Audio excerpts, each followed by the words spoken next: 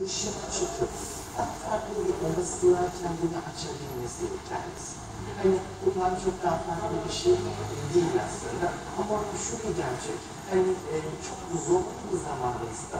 Evet e, çok enerjimizin düştüğü, fiziksel olarak kendimizi e, dostum bir cenaze olduğu zaman yanına gittiğinizde başınız sağ olsun diye yine e, kenara çekildiğinizde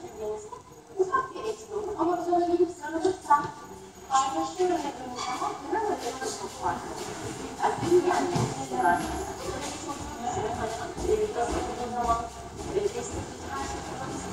you.